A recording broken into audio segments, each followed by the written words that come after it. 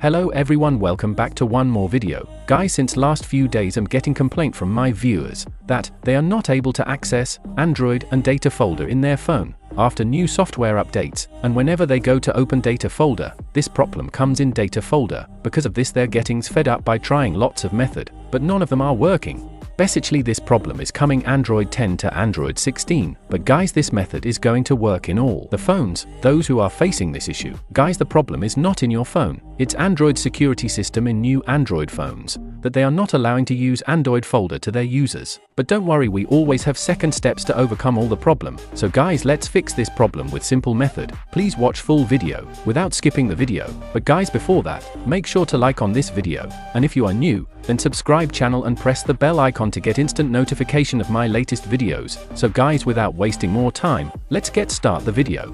So guys before dive into the tutorial, let me show you that this phone is also having same problem. You can see it's showing access denied. This phone is running in Android 16, so obviously this problem is necessary. But now we will fix this problem, and after this we can access data and OBB folder without any problem.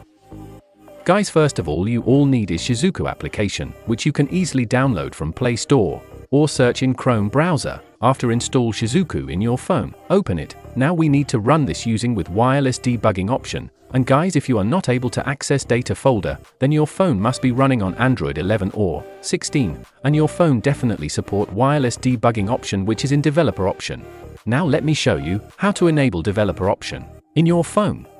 First go to your phone settings, then here search for About Phone. Search this option according to your phone settings, because every phone has different location this option. Now simply click on About Phone, then click on Software Information. Now keep tapping in build number, 8 to 9 times, then unlock your phone pattern, to enable developer option. Now if you go back, you will see that developer option has been enabled in your phone.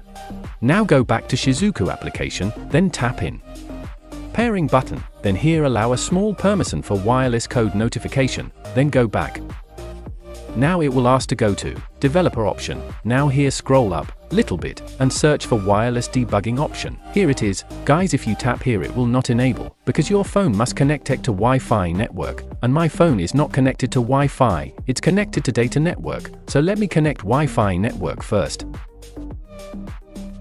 Okay guys finally, my phone is connected with Wi-Fi network. After connecting Wi-Fi network again go back to the developer option, and then tap in wireless debugging option, and this time it will enable easily. Now again tap in wireless debugging text, then tap in paired device with pairing code. Now it will show you some code, which we need to type in Shizuku app to run. When code will show, the Shizuku notification will also come to add that code, to add this code. Slide down notification panel, then simply adhere this code, then tap in send button.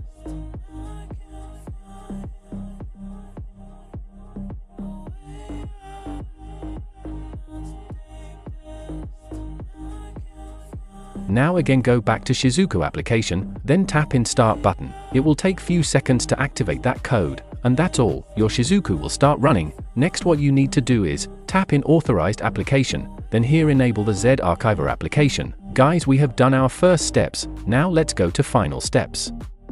Now go back to the homepage, and from here open ZArchiver application, then tap in this three dots, then tap in settings, then again tap in root option, and here change SU to Shizuku.